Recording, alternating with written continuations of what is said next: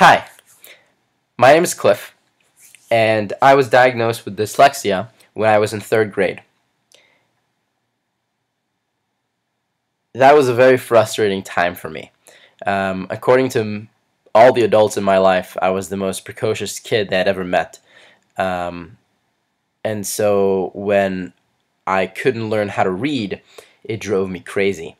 And I remember sitting in the public library every other day for hours at a desk trying to read a book, and I just could not get the hang of it.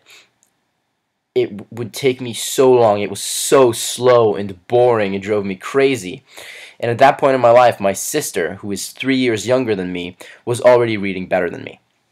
So, dyslexia is definitely something that I've had to learn how to cope with, but you can learn how to cope with it. And in fact, right now, I love the fact that I'm dyslexic, and I would not give it up for the world because it gives me a bunch of fantastic advantages that I would not want to be without. But you do need to learn how to cope. So here's one of my favorite tricks uh, for how to beat dyslexia. It's called text to speech, and I'm going to teach you how to activate it on your Mac. You don't need to buy anything or download anything. It's very, very simple. So the first thing you want to do is go to System Preferences. Once you do that, you want to click the button with uh, the little microphone icon. Click Dictation and Speech. Once you do that, you want to click Text to Speech. Press Speak Selected Text when the key is pressed. And then you want to press Change Key and what you want to do is in the bottom left corner of your keyboard, there's a button called Option between Control and Command. Press Option and without letting go, press Escape. Now you want to press OK. What you just did means that whatever text you highlight on your computer with your mouse and then press Option, hold Escape, you're going to activate text-to-speech and it's going to read it out to you. Now, the preset voice is pretty mechanical. Most people recognize me by my voice. So the first thing you want to do is change the voice. The way you do that is press Customize and choose Samantha to download it. This is the best voice by far. Um, and then you want to pick Samantha. Now, the normal speed is pretty good. Hello, my name is Samantha. I am an American English voice. But to make it sound more fluid and like a human is reading it, I suggest upgrading the speed to here.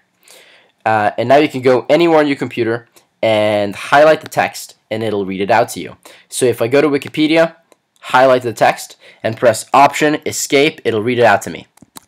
Brown University is an American private Ivy League research university located in Providence, Rhode Island. Founded in 1764 prior to American independence from the British Empire as the college in the English colony of Rhode Island and Providence Plantations, Brown is the third oldest institution of higher education in New England and seventh oldest in the United States. 5. To stop it, I again pressed Option Escape. Now this program is amazing because after a while you get used to how the voice sounds and you can start listening to it faster. So here is the speed that I listen to this at. Again, option escape to activate.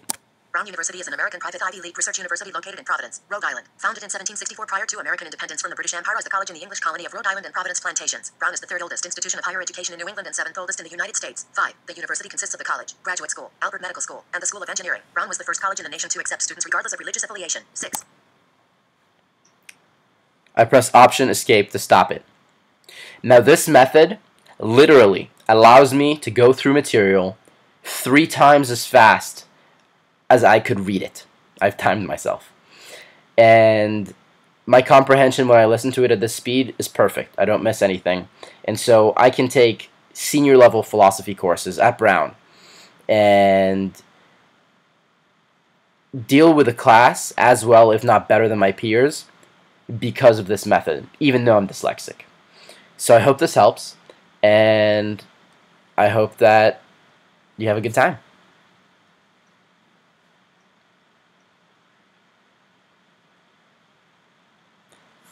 And leave any questions below if I can help in anything else. Good luck.